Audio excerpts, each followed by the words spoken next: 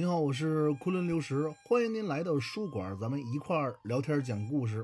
上文书啊，咱们说到了这个噶尔丹策凌死了以后，这国呢，它不可一日无君；草原上啊，也是同样，它不可一日无汗呢。于是就按照草原上的法典，这个次子，也就是嫡子啊，策妄多尔济纳木扎勒继承了汗位，坐上了下一任的准噶尔大汗。真的假的呀？不在咱们讨论范围之内。反正呢，这史书上是这样记载的：说这孩子继承了汗位之后啊，荒淫无道，虐待百姓。有人就说了：“那你怎么敢称呼人家大汗为这孩子呢？”哎，那就对了。其实啊，这大汗继位的时候也不过才十三岁。如果呀，对他的传言呢都是真的，那我倒是挺佩服这位大汗的。十三岁就能落一个荒淫无道道的罪名。这也算得上是格色的本事啊！他令功劲儿，激激起民愤不要紧呢，这屁股底下大汗的位置啊，算是坐不稳了。于是就被这个部众抠瞎了双眼，被流放到阿克苏。就在阿克苏啊，度过了自己的余生。那自然了，这大汗的位置还是不能空缺。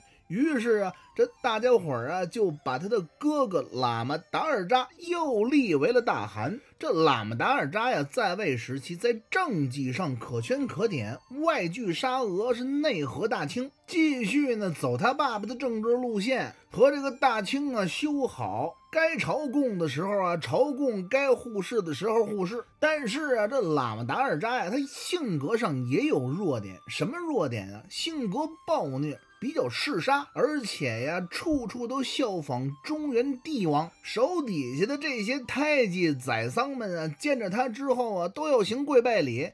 并且呀，处置人呢都在谈笑间。本来呢是个粗人呢，还总喜欢玩权谋这一套。这时间一长，这手底下的人呢，干脆就是受不了。您还记得联合闹事把他弟弟那个大汗拿下的两个太监吗？对了，一个呀就是阿穆尔萨纳，另外一个就是达瓦齐。这两个人一看呢，这样可不行。本来是啊，联合诸部啊，另立新军，就想控制个傀儡大汗。本来呀，觉得这大汗呢头脑简单，挺好控制的。可是谁成想啊，这喇嘛达尔扎呀，狗场鸡就，净整这洋事儿，不知道从哪儿啊学来这些权谋之术和这些呀繁杂的礼仪。这达瓦齐呢想的比较简简单，哎，你能做大汗呢？大概齐我也能做大汗。咱们俩人，他关键呀都姓绰罗斯，都是本部啊正宗的胎记。我要是把你弄死了啊，可能在法理上啊还算说得过去。于是啊，他就找到了他的好搭档阿穆尔萨纳商量。这阿穆尔萨纳呀，他想呢跟这达瓦齐可不一样，因为呀，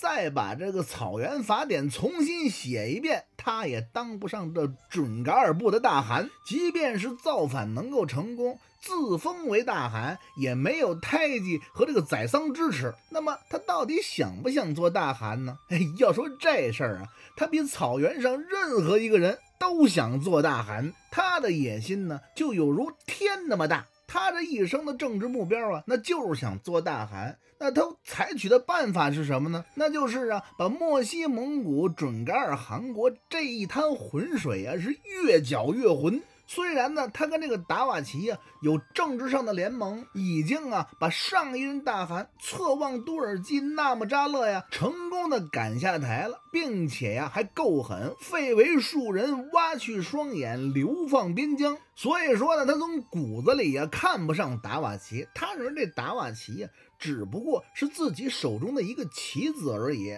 根本就配不上自己的政治联盟。于是他给这个达瓦奇出主意，他说：“这么着，咱们呀，先别着急的呀，自立为大汗，弄巧成拙呀，别的太监宰桑不服啊，搞不好咱俩就把这脑袋玩丢了。咱们呀，还是扶持他们一支人出来做大汗，咱们在后边啊操控这支傀儡政权，不还是吃香的喝辣的吗？而且呀，还避开了。”这风口浪尖儿，这达瓦齐一听啊，也对，那扶持谁呢？干脆呀，咱们就扶持这大汗噶尔丹策凌的三儿子，哎，侧望达什。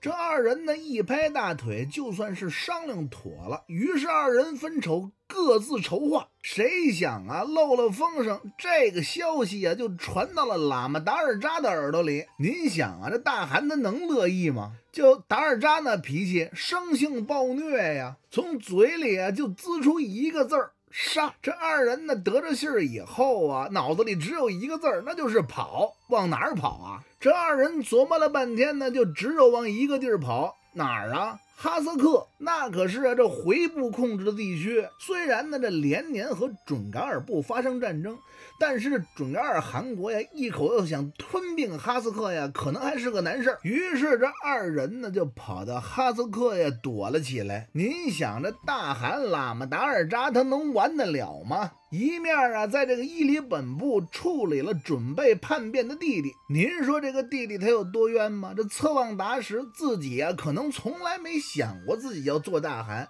他关键是啊，自己这大汗呢，一天也没做上，哎，脑袋就玩丢了。处死了弟弟之后啊，这喇嘛达尔扎一天都不肯停息，直接就提了三万精兵跑到这哈萨克呀讨逆要人。这哈萨克呀多年以来和这准噶尔部就是世仇，常让这帮蒙古人欺负。这喇嘛达尔扎呀，哎，城外要人，这哈萨克呢聋子宰猪，根本就没听他哼哼。你要找人呢，你找吧，反正你别杀进我的地盘，攻进我的地盘啊，咱们就开战。最后，这喇嘛达尔扎呀也是无功而返，只好愤愤地带着他的三万蒙古骑兵回到了伊犁本部。要说这样的，阿穆尔萨纳和达瓦齐，你们俩人呢就在这哈萨克忍了，苟着点儿别出来了。哎，不接，就在康熙十七年的秋天，这两个人啊带领着一支轻骑兵。趁着夜色，偷偷摸摸的就摸回了这个伊犁本部。就在十一月二十七日，这支轻骑兵啊，还就真攻进了伊犁本部大汗的城寨。要说怎么这么容易呀？嗨！